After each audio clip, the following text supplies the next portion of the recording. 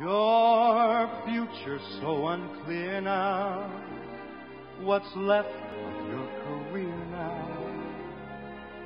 Can't even get a trade in on your smile.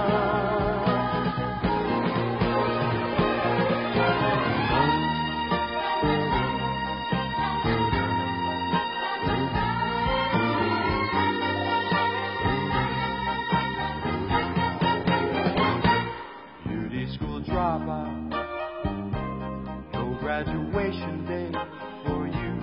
Beauty school dropout, missed your midterms and flunked shampoo. Well, at least you could have taken time to wash and clean